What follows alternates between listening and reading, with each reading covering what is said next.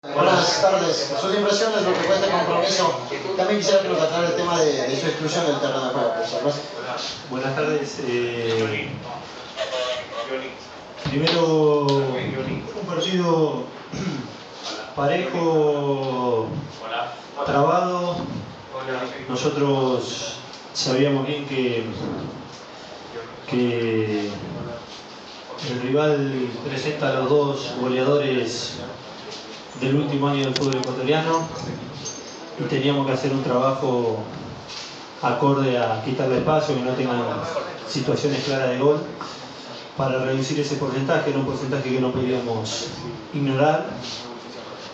Y, realmente el equipo en lo que respecta a lo defensivo hizo cosas buenas.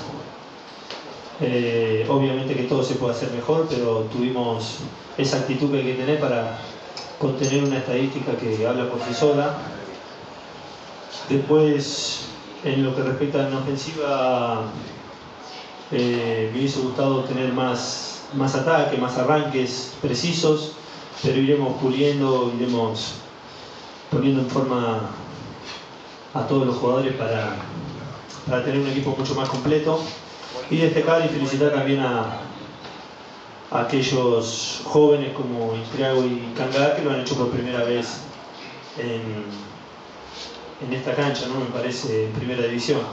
Así que felicitar a los míos y después el análisis más profundo que dan ustedes. Con respecto a la expulsión, a mí me da la sensación que, que me, me están siguiendo bastante y debo decir que ya tengo novia. Eh, que, que no me busquen más porque hace cuatro años que estoy en pareja y soy feliz. Así que eh, esto para los hombres rojos, ¿no? Siguiente pregunta, Cristian Viejes, CR. Silencio, por favor. Gracias. ¿Qué tal, profesor? Felicidades por el punto de visita, siempre es bueno sumar. Con respecto a la variante de Enrique Ramberbera, en ese momento Barcelona estaba en disminuido, tenía expulsado un jugador de defensa justamente, podía de pronto haber eh, puesto algún volante ofensivo, de pronto un delantero. ¿Qué ocurrió? ¿Por qué esa variante? ¿Por qué de pronto retener el balón en vez de atacar? Porque no teníamos un jugador ofensivo en la banca, teníamos volantes. Y, y bueno, volante.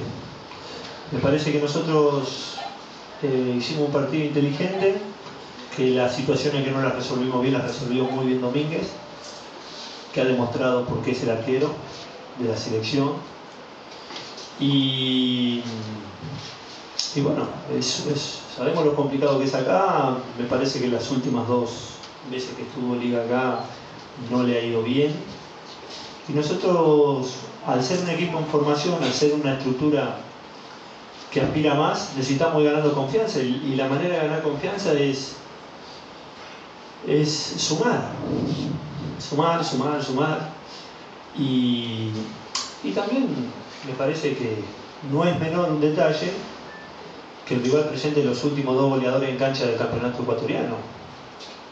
Entonces eso implica una cierta fortaleza del rival, en donde nosotros teníamos que hacer una tarea más que buena, y en aquellas situaciones donde no la podamos o donde no pudiéramos manejar eh, por virtud del rival o defecto nuestro, presentar un arquero como Domínguez. Siguiente pregunta, Jofre Tomalá de Radio Tropical. Buenas tardes. Buenas. ¿Me trae algún recuerdo de haberse sentado ahí? Es, eh, realmente siempre, ya lo he dicho, soy un agradecido de las instituciones que me han contratado porque me han tratado la gente de cada institución, eh, el ser humano de cada institución me ha tratado bien. Yo siempre digo que esto es una relación de feedback, uno recibe lo que da y, y tengo buenos recuerdos, como dije, y estoy sorprendido y muy contento de lo bien que me trata la gente de Liga también. Entonces para mí eh, es un trabajo Ustedes ven cómo me esfuerzo, trato de ser el primero en llegar, el último irme junto con todo el cuerpo técnico y trabajar desde la nobleza, que no es ninguna virtud, pero que también vale recalcar eso. Perdón por la pregunta. La pregunta ahora sí va en serio, profe. Eh, ¿Por qué juega con tres juveniles? Cuando el reglamento dice uno solo nomás. ¿Alguna explicación? Sí, eh, quizás hay, hay, dos o tres vías para explicar esto. Primero, la gente, primero el rendimiento. A mí eh, trato de discriminar, eh, de, de no discriminar edades, es decir, juegan los que mejores veo, no porque uno sea juvenil y el otro. Sí tengo una regla como entrenador que en igualdad de condiciones pongo al jugador del club. Esa es una regla que me propuse desde que empecé a dirigir. Desde que empecé a dirigir en igualdad de condiciones según mi óptica, no según la óptica. eh, para armar la plantilla, sí la óptica dirigencial, porque ellos son los que, los que tienen que manejar los jugadores y se tienen que hacer cargo y me parece espectacular. Para formar el equipo, en igualdad de condiciones pongo al jugador del club. Tenía eh, algunas inquietudes con respecto a este partido porque yo sab- sabía que si alguno no andaba como tenía que andar o cometía algún error puntual, se me iba a caer mucho por poner juvenil en este partido. Pero yo debo decirle a todos aquellos que yo- sospechaban o tenían inquietudes, debo fundamentarles porque yo pongo juveniles en este partido porque el año que viene son 95-96, no van a ser más juveniles.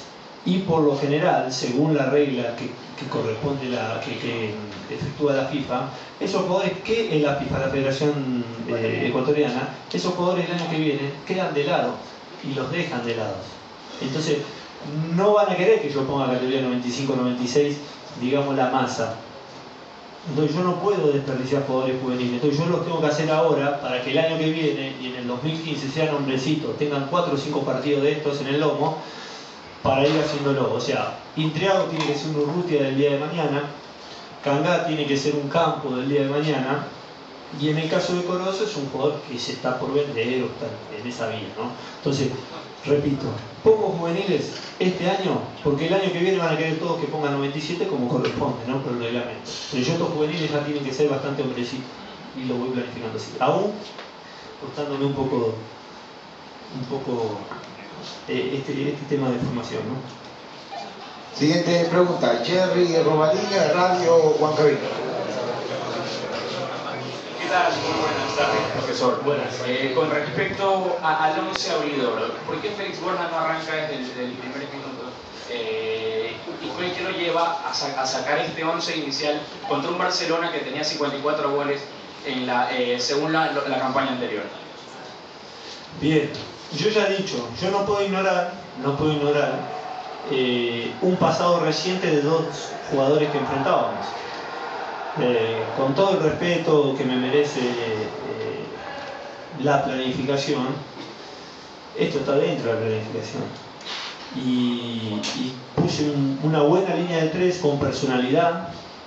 Sigo insistiendo que los árbitros pitan muy rápido, hacen que los defensas no se hagan hombre, que no puedan ser fuertes. Y es una lástima porque hoy, hoy, hoy, Ecuador está teniendo problemas en sus sagas centrales. Entonces a Calderón lo amonestan por un- una mano que empuja adelante. Entonces no los dejan jugar en contactos, que no ocurre en ninguna parte del mundo. Aún con esos atenuantes yo tengo que tener una defensa fuerte, de hombres. Y después si el árbitro me pita penal como me lo pitó con Loja, no me importa. Prefiero tener un equipo fuerte. Que sepan que somos un equipo fuerte. Y a eso me llevó a inclinar estos 11 jugadores. Y con respecto a Borja, eh, Congo lo venía haciendo muy bien, está con un problema muscular. Borja está en un periodo de adaptación y no lo quiero exponer en una situación que me parece que, que, no es el momento. No porque no tenga las condiciones, sino porque es un jugador de trayectoria. Cuando lo ponga le van a exigir que, que meta cuatro goles de chilenita. Entonces yo prefiero ir llevándolo y utilizarlo cuando el equipo lo necesite. Siguiente pregunta, Ángel León, de Radio Caravana. Profe, ¿qué tal? ¿Cómo le va? Buenas. Eh, bueno, el rendimiento que mostró hoy Liga Deportiva Universitaria acá en la cancha del Monumental, ¿el empate es justo, profe, o cree que mereció un poco más esta tarde? No, no, no. Fue justo empate. Ellos tuvieron más situaciones de gol. Nosotros tuvimos el partido, por momentos podíamos haber dañado más. Obviamente eso nos lleva a tener que seguir mejorando, pero nosotros queríamos sumar acá, queremos seguir sumando en el campeonato, queremos seguir ganando confianza, porque de nada me sirve querer atacar y después no hacer ni una cosa ni otra, aunque debo decir que, repito, y soy realista con respecto a esto, que las situaciones eh, que no supimos eh, manejar las defendió muy bien el arquero Domínguez. Después, eh, el, resultado es justo dependiendo de la mirada de quién, ¿no? Última pregunta, Jorge Navarro, Supercado 200. Gracias, compañero, buenas tardes. Profe, buenas tardes. Profe, dos cositas así sobre la marcha, por favor. Una, eh, ¿en qué proceso, perdón, eh, en qué porcentaje de adaptación está en este momento eh, Morales, Cachete Morales? Y la segunda, hemos visto que los técnicos practican esa jugada de distracción y la poner doble barrera. Pero generalmente la doble barrera o la barrera del equipo que va a cobrar la pone cerca de la pelota, no detrás de la barrera del equipo que está defendiendo. ¿Esa es una modificación que está realizando, profe? Sí, eh, es, es sí. sí. pero eh, no, es, un, es una doble barrera para, para algo, ¿no? No, no, no voy a fundamentar. Pero sí. ¿Y después cuál era El proceso de adaptación de... Ah, de Morales. Morales es un, es un jugador muy bueno, muy bueno, le tengo mucha confianza. Y solo tiempo, solo tiempo. Eh, él resuelve bien, es el típico enganche argentino y yo creo que con la adaptación a la altura nos va a dar alegría. Eh, yo estoy conforme con el plantel, siento que hicimos un partido como el que teníamos que hacer, se puede mejorar, lo vamos a ir mejorando y estos muchachos necesitaban hoy acá no ser derrotados, no ser derrotados. Y, y, después, bueno, en cuestión a lo que realizás en el campo, si es tu tarde o no es tu tarde, te inclina para ganarlo o perderlo, ¿no? Entonces ahí quizás tendríamos que haber estado mejor, pero bueno, son partidos. Yo tampoco puedo ignorar que hicimos cosas buenas y que